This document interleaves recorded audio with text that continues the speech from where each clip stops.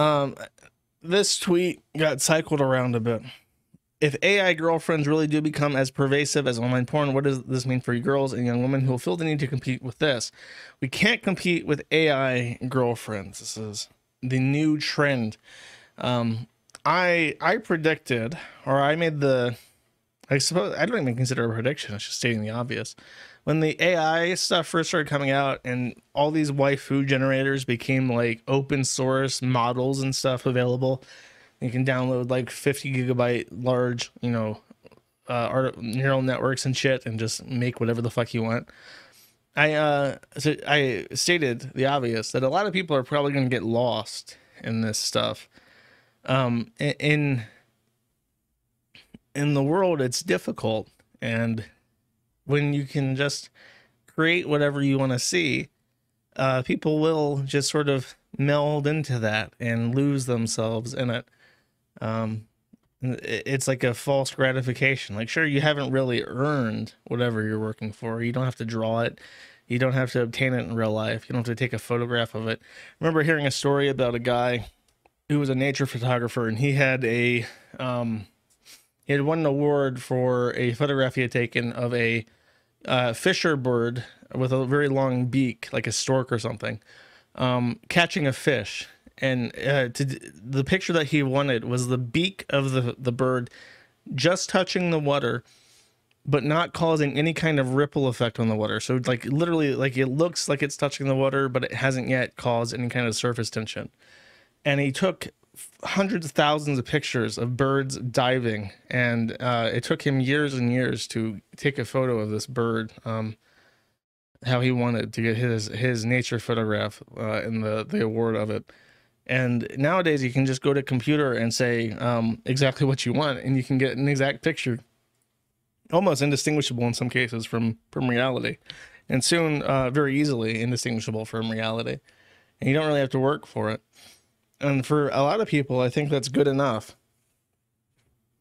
I think that um, a lot of people just have this very passive, uh, natural position and disposition towards the world, and they don't really want to do anything or, or struggle. They never want to feel uncomfortable, so they just accept whatever they're given and uh, take little outlets like this. Um, I think a lot of people um, especially like trannies, they have this mentality of non-competitiveness because when you when you're when you're competitive, you can always fail. You know what I mean? You can really put your heart into something and you can completely fuck it up and humiliate yourself. And then all these people will come out and say, "Oh, look at him. He tried and he failed. How embarrassing is that?" And it's really painful. It stings a lot to lose. So a lot of people avoid any kind of confrontation like that, which is uh, competitive and has potential to loss. And that's why you see like a lot of people who have like a support mentality. You know what I mean? Like people, if you, there's a group of people um, who will only play support classes in games because it's much easier to support somebody and then if you lose, you can just blame your carry or whatever, or your your your damage dealers for not carrying hard enough, and the support just kind of takes like the back seat and doesn't really get yelled at enough. But they take that kind of it, it's a it's a sort of way to compete without being directly competitive, and I think a lot of people have that, and they just want to they want to occupy some niche that doesn't have any attention and you can't really fail at, and you can just get by in this passive supporting role forever. Uh, enter the AI girlfriend. um, for guys who don't want to compete in the sexual marketplace, but still have a natural uh, law of attraction towards feeling loved, I guess. I don't know how anyone could ever be placated by something like this, but I know for a fact that people could. Uh, this guy, for instance, Axe Angelo says, the near future of women. What man should want to put up with an abusive, nasty, used up hoe that shrivels into a turd raisin when you can have a sexy, submissive, legal young woman that never fights you, never gets old, never cheats, and is your property to do whatever you want with? Uh, oh, I should read this. So here we have uh, the nasty turd raisin organo flesh whammon saying, "Come back here. Sex robots normalize violence. Sex dolls can be raped. Virgin. Sex robots epitomize patriarchy. Threat of female independence." And then the sex robot says, Master, why is the organic female so angry? And Annan, who of course is thin and not fat and a loser at all, says, Ignore her, baby. She's just jealous. Uh, he also does a comparison. Females, femoids. I, lo- I don't know what it is. This has become like a, a weird. If I see someone refer to women as females, oh, this isn't news. Is I guess I can put the hamster up. Hold up. I have to find him again. He's in my assets folder. Podcast. All right. Here we go. Here, we'll switch it up a little bit. Somebody made this. I'm just gonna go ahead and put them down here. we're gonna we're gonna just have a, a uh we're having a substitute. The regular news hamster is sick. uh, yeah, perfect. Okay. Uh, so this guy compares females don't stand a chance now. Stay mad. So here's the the whammon, fake hair, fake lashes, eye, fake eyes. I don't know what that means. I guess the eyes are glass. She's blind.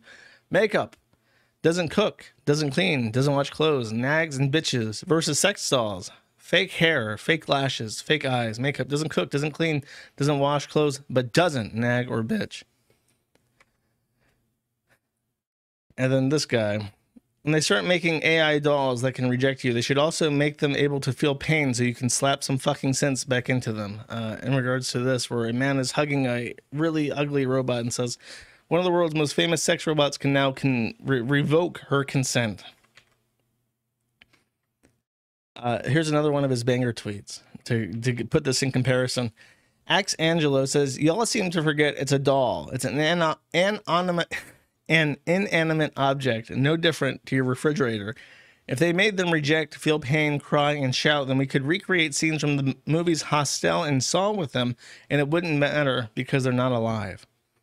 I'm reminded of the um, the game Fallout 3. There's a segment where a uh, evil German scientist, of course, has created a um, virtual reality and after being locked in with these like projections of other people's personalities he goes crazy and starts like torturing them because that's the only thing that he can do that's like entertaining to him anymore uh I'm, I'm kind of getting that vibe. I have a feeling that if you have like a woman that can never dissatisfy you and is just like a robot, eventually you would just go insane by having absolutely zero friction and you would just start taking an axe and like hacking them up and you just start going through the motions like buying new ones and hacking them up because uh, there's no there's no point. He would just go crazy. Yeah tranquility lane. You would go you would it would be like tranquility lane. You would go insane and just start torturing your your sex robot because there's she can't she can't displease you or fight against it so you would fucking lose your mind. Bathtub full of dildos? This is him. What bathtub full of dildos? Does this man have a bathtub full of dildos?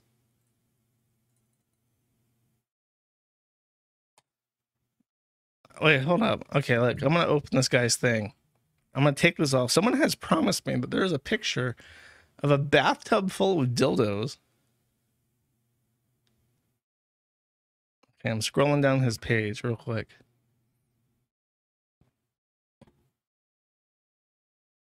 Maybe he's deleted it because this guy posts a lot about how much he hates women.